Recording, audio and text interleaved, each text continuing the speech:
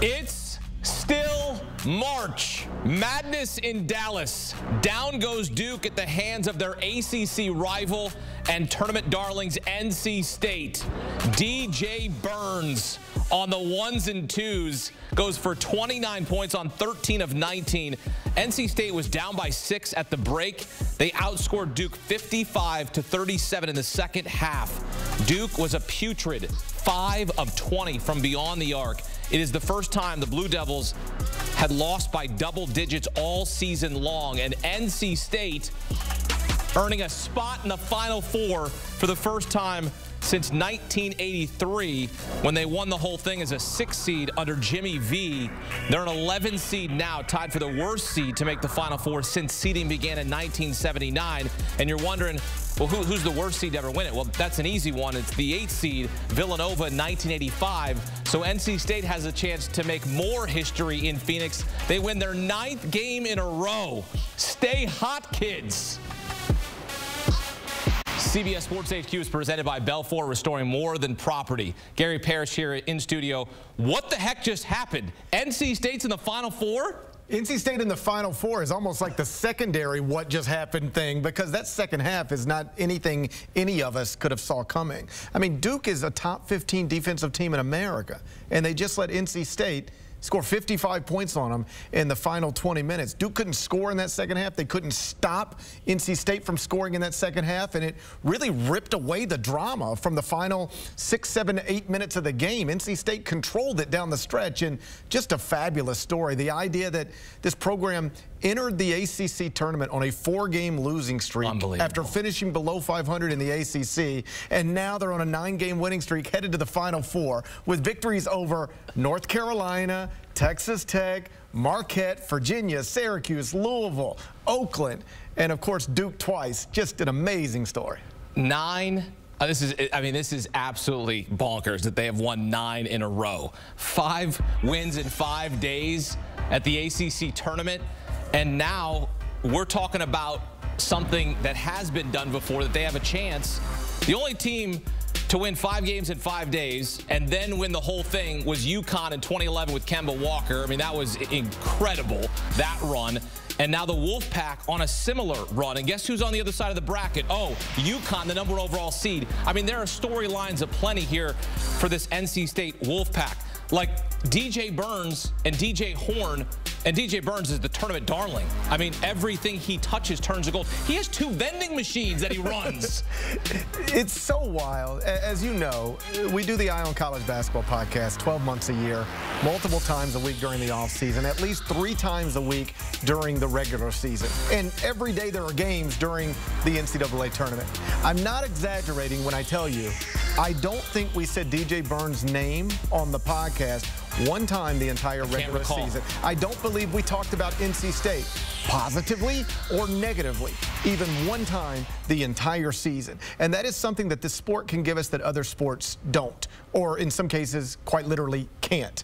Like in the college football playoff, like NC State can't even sniff that. Right. Right? In the NBA playoffs, NFL playoffs, a team like NC State has no chance to be involved. But because of the nature of this tournament and automatic bids that can be earned through conference tournaments, every once in a while you'll get something like this. And every time you do, it's a really remarkable story. Everybody that we see on that court today playing. All the folks we see in the stands celebrating, they've been waiting a long time for something like this. And for NC State to get to the Final Four anytime, for the first time since 83, massive story no matter what. But to do it against Duke, your big brother, if you are indeed the little brother, you can't write it better than this. I try to be the gatekeeper of the word unbelievable because we throw that word a lot around in sports. That's unbelievable. Oh, I can't believe he threw a no-hitter. No, I can believe that. I can believe I, this is kind of unbelievable to me to win nine games in a row, beat Duke, get to the Final Four the way they have done it. I mean, they needed a Michael O'Connell three yeah. at the buzzer to go to overtime against Virginia. And, and, here they are in the Final Four. And maybe to save their coach's job. Yes. Like, let's not forget about that. And that's the other uh, side of this is that you know, I do a hot seat list for CBSSports.com every year. And in multiple years, Kevin Keatts has been on it.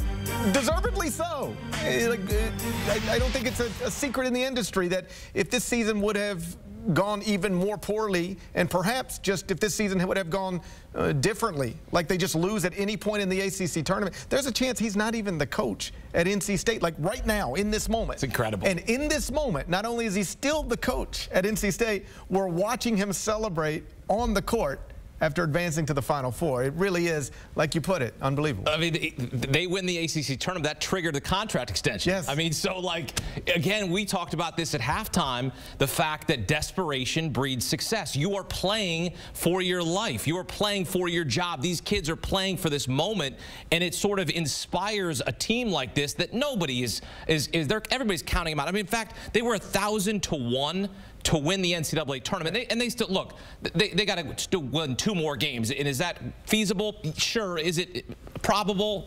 I don't know. It's unlikely. They're going to face Purdue and then the winner of UConn and Alabama. Just to get here is an incredible accomplishment because you consider what how the thing, they lost 10 of their final 14 regular season games. They entered the ACC tournament on a four-game losing streak, Gary. No, this would be, it's a little bit apples to oranges, but you'll get the point, I think.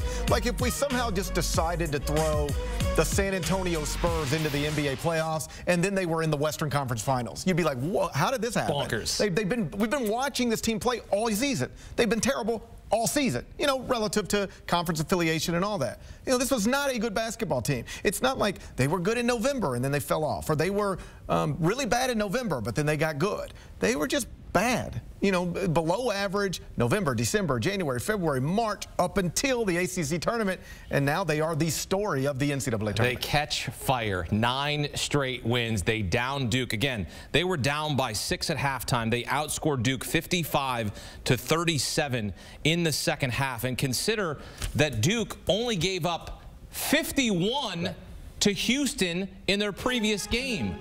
What the heck happened to Duke in this game? DJ Burns would be the most obvious thing. I mean, he was terrific. But even like as he is becoming a household name and the face of this NCAA tournament and perhaps the body of this NCAA tournament, um, this is still way out of character for him. It's not like we're talking about, well, you know, Zach Edey's been an All-American all season or Dalton Knecht's been an All-American all season. Like, DJ Burns is just a guy. You know, just a guy who plays for NC State. Nothing more, nothing less. And now he is in many ways like the face of this.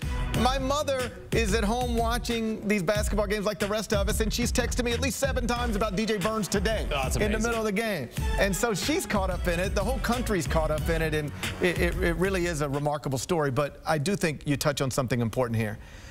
As happy as the country outside of Duke fans can be for NC State, this is an incredible missed opportunity. Huge missed opportunity. Jon Scheyer is very young. I think he's got a long career ahead of him and a long career at Duke ahead of him. I don't think he'll ever have a more favorable path to the Final Four than he had with this team. You know, it's Vermont. Yep. James Madison. Mm -hmm. Houston without its best player for the entire second half. Yep. And then an 11 seed that you had already beaten. It will never get easier than that. And obviously it wasn't easy enough because they really just fell apart in the second half. Kyle Filipowski basically a no-show. He was 3 of 12 from the field before uh, fouling out.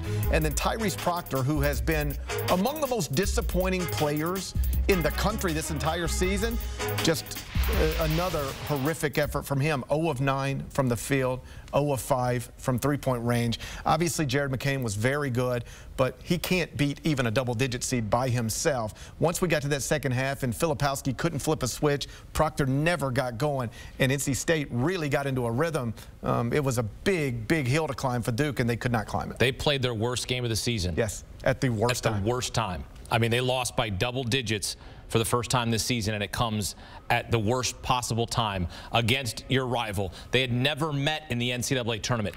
Meeting for the 257th time, first time in the tournament, and you can't beat them in the tournament. And, sh and sh uh, shouts to NC State but Duke is the team that's supposed to get to the Final Four. NC State, this is a this is a prayer. This is a miracle that they get to the Final Four. Duke is the team that's supposed to be there, and they don't take care of business in this spot. Was it? Do you think a little bit of both of of maybe the inexperience and the coaching in Jon Scheyer, but he's been here before as a player, or was it just what, what was it really that, that hampered Duke? Was it the shooting woes? Was it poor game plan? What was it? I, I won't go so far as poor game planning, um, but clearly, like it was just a, a perfect storm of bad stuff all at the the wrong time. Keep in mind they were up six at the half. Yes. They weren't playing well, but they were up six and a half. And I actually thought that was encouraging if you're Duke. Like we're getting nothing from Filipowski, we're getting nothing from Proctor, and we're still up six. Like let's we're fine. And then it just snowballed on them in the second half, and in both directions. They couldn't guard and they couldn't score. That's obviously a terrible combination. Terrible. In every, every sport, but especially uh, basketball. So um, I just think, and this is the nature of this tournament. We saw it with Purdue last year in that first round of game against Fairleigh Dickinson. When you are so obviously supposed to win, supposed to be the better team, and then you're looking up and the score's not in your favor and the clock's ticking down, that's when nerves can start to set in. Because if this were the NBA playoffs, playing best of seven, it's like, well, you know, that's, that's one. They got to get us three more times. We're fine. But when you look up and you know this is it, if we don't get going, then it can get hard to get going. And they, they obviously could never find what they were looking for. The boys from Raleigh rally to the Final Four, winning their ninth straight game to get to the Final Four for the first time since they won it all in 1983. I mean, this is storybook stuff. This is movie type stuff. When Jim Valvano won the title, that's, I mean, they made a documentary about it. I mean, this is, this is becoming that right now. Nine straight wins standing in their way to get to the national championship. Zach Edey and Purdue. Purdue playing an absolute thriller against Tennessee to get here. Purdue has won 48 NCAA tournament games, most all time without winning a title.